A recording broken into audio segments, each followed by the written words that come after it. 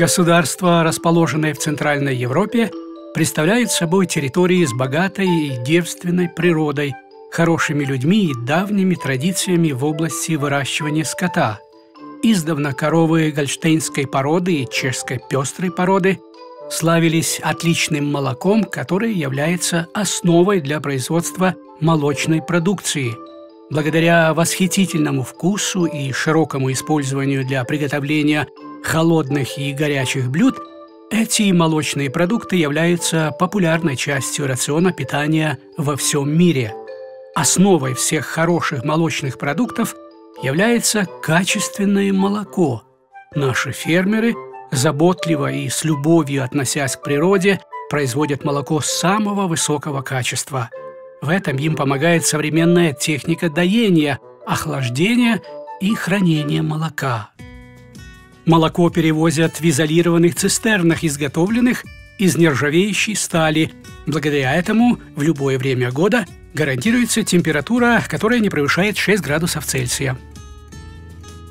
До принятия молочным заводом качество молока проверяется в современных лабораториях на отсутствие ингибиторов, а также контролируется его температура и кислотность.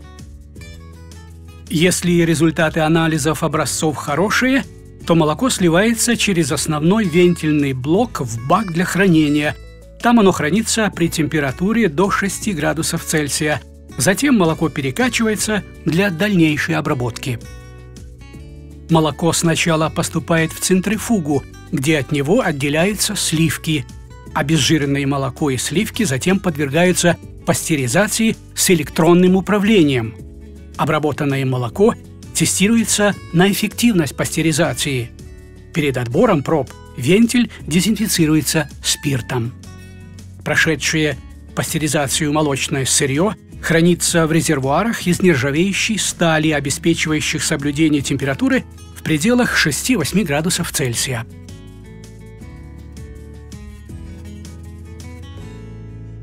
В ходе производственного процесса предъявляются высокие требования к чистоте условием которой является акцент на личную гигиену всего персонала и строгое разделение производственных помещений от гражданских помещений санитарно-гигиеническим блоком. Теперь давайте посмотрим, как из молока делают творог. Творог известен с незапамятных времен. Он имеет снежно-белый цвет, нежно-кремовую, слегка рассыпчатую консистенцию и сказочный молочно-кислый вкус. Производство творога осуществляется на самой современной технологической линии, максимально обеспечивающей соблюдение санитарно-гигиенических норм и стандартов качества продукции. В ферментаторах молоко заквашивается, в творожном сепараторе затем удаляется сыроватка и получается творог. В специальных баках творог охлаждается и хранится до его упаковки производстве творожных десертов количество добавляемых фруктов или шоколада контролируется автоматическим дозатором. Упаковка всей продукции осуществляется на машинах в среде с микробиологическим отфильтрированным воздухом.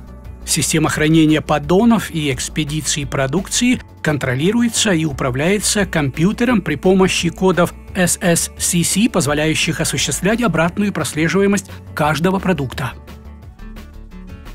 Творог – отличное сырье. Я с удовольствием его использую для приготовления как холодных, так и горячих блюд. Итак, теперь испечем твороженные пирожки с начинкой из капусты.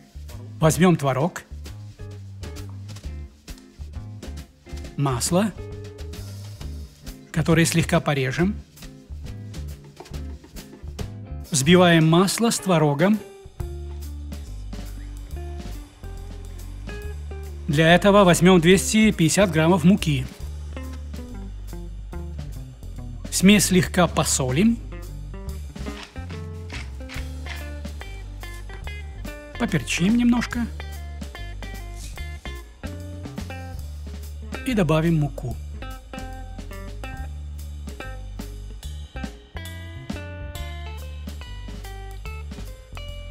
Снова все перемешаем.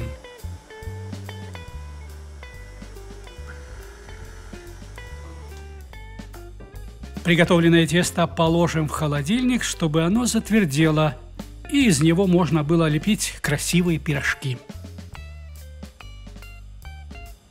Между тем тесто хорошо затвердело. Теперь тесто раскатаем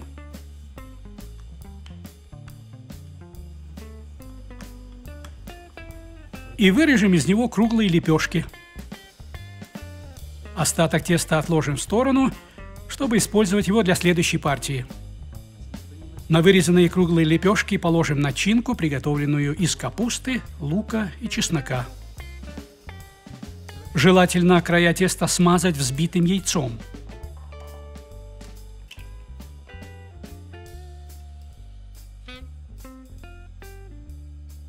Края лепешек плотно соединим и защипим. Готовые пирожки кладем на бумагу для выпечки. Потом пирожки смажем хорошо размешанным сырым яйцом – и посыпем крупной солью. Печем в течение 20-25 минут при температуре 180 градусов Цельсия. Итак, пирожки отлично подрумянились, ничего другого не остается, как положить их на тарелку и отведать. Творог также можно использовать для приготовления начинки для рулета из лаваша. Нам потребуется лаваш, творог, копченый лосось, укроп, немножко сока лайма. Начнем готовить начинку. Творог положим в миску. Поскольку творог густой, его следует слегка разбавить молоком или сливками. Что вам больше нравится? Слегка поперчим, немножко посолим –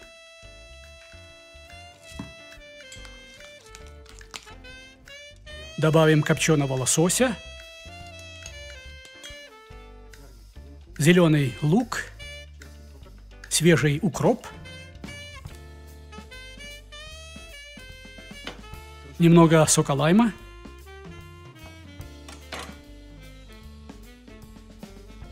Теперь все осторожно перемешаем, чтобы не размять ингредиенты, которые находятся внутри. Итак, возьмем лаваш,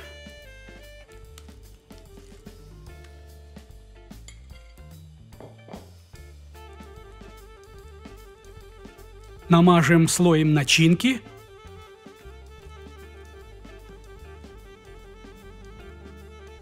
Аккуратно свернем и подаем на тарелке. Например, костям.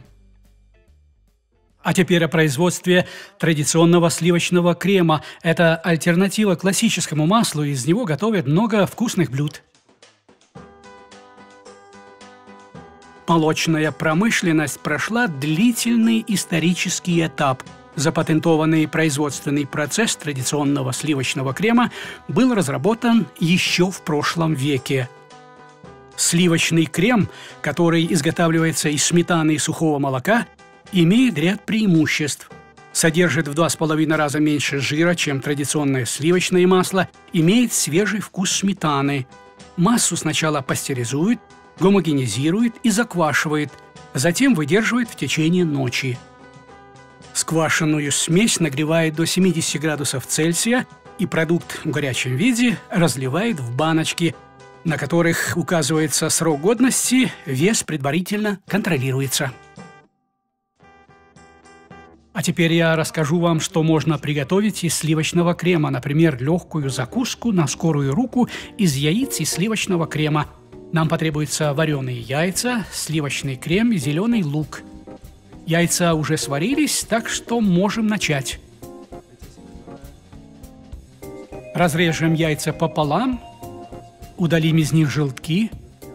Яичные белки пока что отложим в сторону, позже будем их фаршировать начинкой из яичных желтков, сливочного крема и зеленого лука. К желткам Добавим сливочный крем.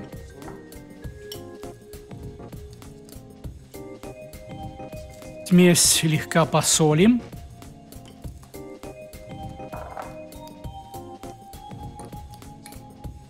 И все хорошо перемешаем.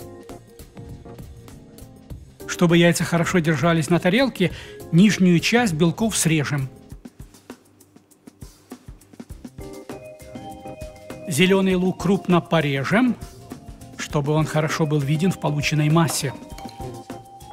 Теперь все еще раз как следует перемешаем, и получится красивая гладкая масса, которой будем фаршировать подготовленные яичные белки. Закуска на скорую руку готова, а теперь лишь осталось украсить веточками зеленого лука. Из сливочного крема можно также готовить отличный соленый калач. Для приготовления теста возьмем муку и сливочный крем, из которого приготовим тесто. Сливочному крему добавим муку и вымесим гладкое тесто. Тесто необходимо тщательно проработать, э, вымесить, э, чтобы потом оно хорошо выдержалось в холодильнике. Тесто кладем в холодильник. Пока тесто охлаждается, приготовим начинку для нашего соленого калача. Начинку приготовим из жареного лука и бекона, одного яйца. Все хорошо перемешаем, чтобы ингредиенты соединились, слегка посолим, поперчим – Добавим чайную ложку сливочного крема. Сливочный крем хорошо соединит бекон с луком и яйцом, и во время выпечки масса будет более мягкой, а калач не будет сухим. На посыпанной мукой разделочной доске пальцами хорошо вытянем тесто –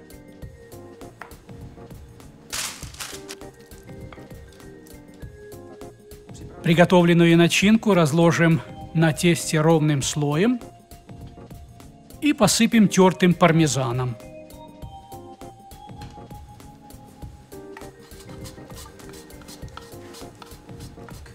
Края теста смажем оливковым маслом –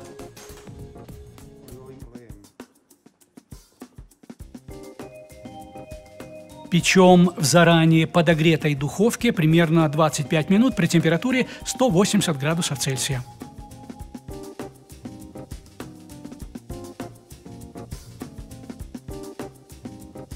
А теперь я расскажу и покажу вам, как из сливочного крема приготовить сладкий десерт. В миксере взбиваем сливочный крем с творогом и сливками – а пока крем будет взбиваться, приготовим основу для чизкейка в чашке. Эту основу приготовим из измельченного печенья с растопленным сливочным маслом. Хорошо перемешаем приготовленную компактную массу положим на дно стаканчиков –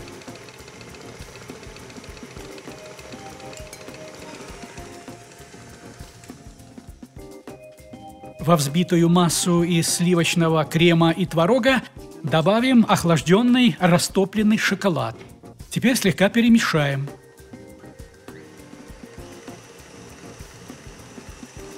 Кремом наполним кондитерский мешочек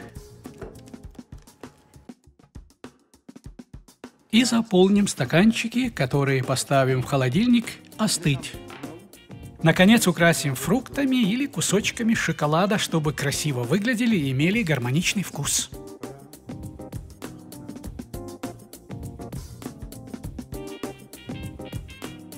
Итак, это был сливочный крем, но мы чуть не забыли о йогурте. Это замечательный продукт из молока, и в нашем рационе он встречается почти каждый день. Производственный процесс йогурта занимает два дня. Он начинается пастеризацией и стандартизацией обработанного высококачественного молока. После гомогенизации молочной смеси, в результате которой расщепляются жировые шарики и тем самым смягчается консистенция, смесь ферментируется благородными бактериями йогуртовых культур. В ферментаторах йогурт созревает несколько часов.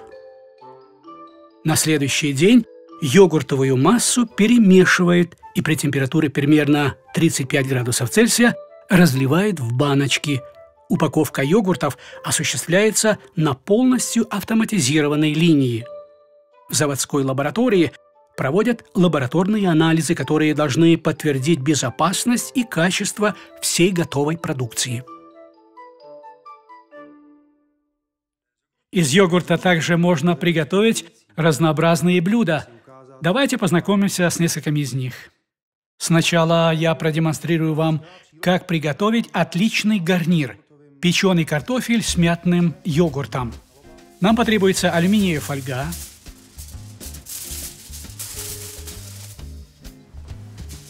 большой свежий картофель, картофель слегка посолим –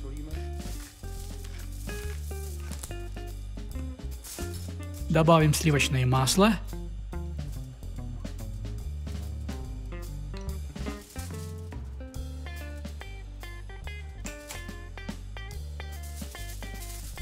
Плотно завернем в алюминиевую фольгу и печем при температуре 150 градусов Цельсия час-полтора.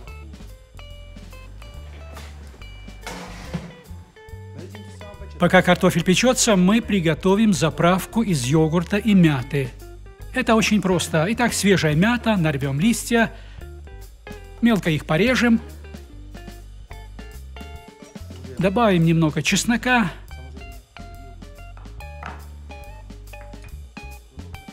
все это еще немного посолим и поперчим.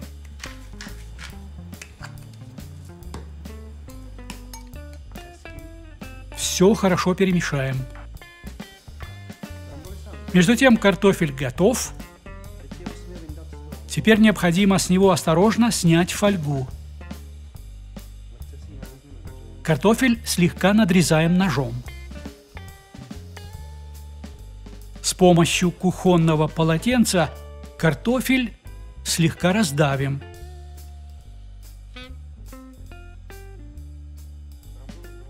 и снова поставим в духовку, чтобы он хорошо допекся. Так выглядит хорошо пропеченный картофель. Теперь очередь нашего вкусного мятного йогурта. Горячий картофель поливаем мятным йогуртом, украсим и можем подавать. Следующим деликатесом из йогурта является йогурт с клубникой, лимонным соком и ванильным сахаром. Клубнику нарезаем. Это простой рецепт, с которым справятся даже дети. Добавляем в йогурт ванильный сахар и немного лимонного сока. Все перемешаем.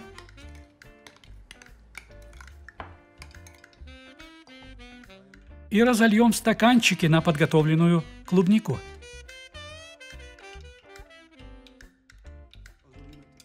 Десерт украсим клубникой и натертой лимонной цедрой.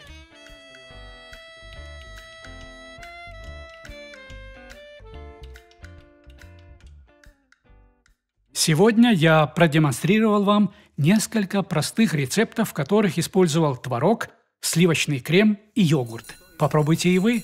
Пригласите своих друзей, и пусть они отведают эти блюда. Желаю вам удачи, приятного аппетита!